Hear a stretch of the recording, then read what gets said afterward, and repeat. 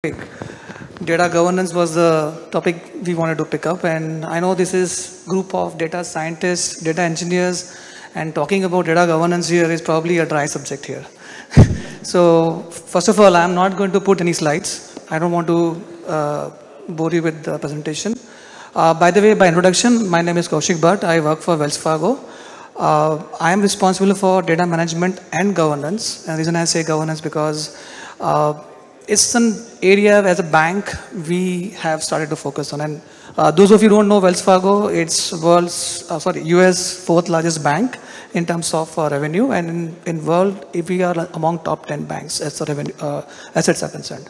So let me just quickly talk through you in terms of what is governance, what we do and where it started and how we see this is going to impact the spectrum in India as well. And that's where I'm going to drive the topic here. Uh, so we've been doing data management for last 20 years. As a bank, we have a data warehouse. You can name a technology, we have it. Right from structured data, unstructured data, data lake environments. We have done everything, by the way. Uh, when it came to 2016, uh, you know, as a bank, we were asked, can you give us some numbers from regulators, by the way? This is where it started. And I cannot talk in details, but essentially, when it came to our analyst community to get one single single truth was difficult. And we went to a data scientist, even today, if you go to data scientist community and ask a question, can you get me a good data? A uh, lot of time we see the data scientists are spending time in finding good data. Uh, we saw that the struggle of success of data platform is to do with right data and data in a way where we can be consumed faster. So our effort was really to make sure that our data assets that we have are 100% consumed effectively. So, in, so this is where uh, the program got started. I'm part of CDO office, Chief Data Office. Our job is to really look into data lifecycle, right from data origination to data processing and consumption. So, right from knowing your data, uh, let me give you an example.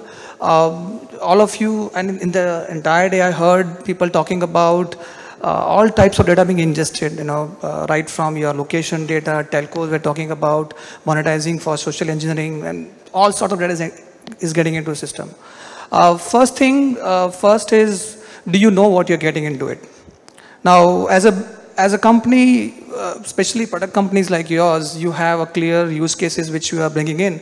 But a lot of time, data scientists will bring data for monetization, which multiple use cases, and they don't really know whether they need it or not. So in our case, or most banks, we would end up creating data lakes, lakes into data swamps. So we had a lot of data which we didn't even knew why we have it here. Uh, if you look at, that's the first problem. Uh, our effort 2016 onwards, we've been, we've been going back to our data we have deployed, uh, I would say, data scan mechanism. So we know whenever we get data, we know what data it is. It is sensitive, if it is PII, or if it is uh, confidential, we know it right there. Uh, our endeavor is to really make sure that every policy of the bank or any financial institute is being recorded in the part of scan itself.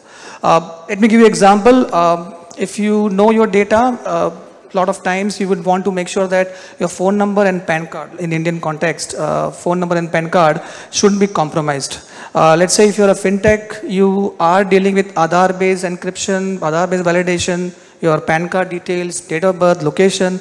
By the way, this is this is super sensitive data, and if it is if it is being gone into wrong hands, uh, potentially you're going to lose the customer trust. And, and we all know what happened to Facebook and what's, what's happening in terms of uh, different companies. So as a bank, what we decided is we want to make sure that we are responsible, not only for our data scientist community, but we wanted to go out and tell our customers we are responsible in terms of how we handle our data. Uh, three things, we were, we deployed our data lake, data lake architecture with profiling systems. We also deployed scalable data classifications so if I get a data which talks to me as 16, num 16 number, I know it's a credit card number. If I get a data which is starting with uh, uh, four digit number which is Amex, I know it's Amex card. Uh, if I know date of birth, I would know that this is date of birth and address with, or a person where it resides. So right from ingestion, we deployed our data classification and tagging. Uh, we also made sure that some, uh, if you know, if you know Amazon, the way it does cataloging, and in fact, uh, I'm sure in your data platform you have deployed it, we made sure that every data asset is properly cataloged. So we deployed our AI ML algorithm there. We are deployed on products, and we make sure that every data asset that we are getting in our system, it's getting cataloged properly. And uh, we make sure that every data asset being transformed from ingestion to consumption, we have MDM system lineage. So that's the other thing that we have invested on.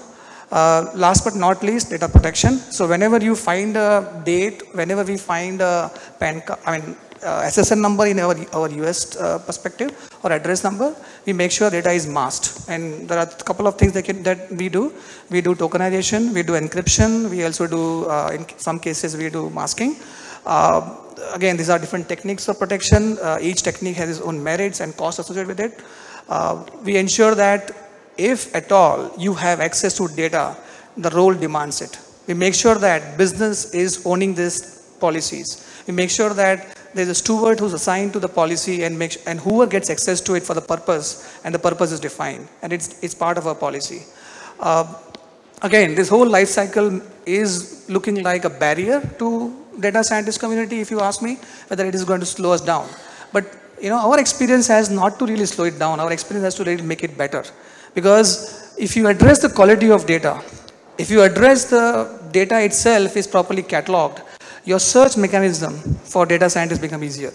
We, we, we, we saw benefit of doing this because we were able to get our data assets much easier. We were able to find where to get the right data for our analytical projects. Also, we were able to make sure that we are responsible in the way we handle it. So that's what we have done. I really cannot go specifics of products, but uh, I know we have some, if you have questions, we can take the questions or uh, we can talk through the specifics.